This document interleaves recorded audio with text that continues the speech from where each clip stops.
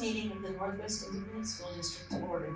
Let the record show that a quorum of board members is present, that this meeting has been duly called, and that notice of the meeting has been posted in accordance with the Texas Open Meetings Act, Texas Government Code five five one. We'll now uh, address public comment on the agenda items only. We have none. So we will move to closed session.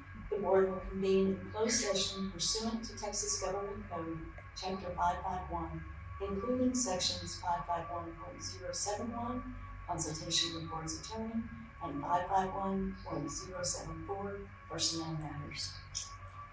Reconvene special meeting in open session. Second.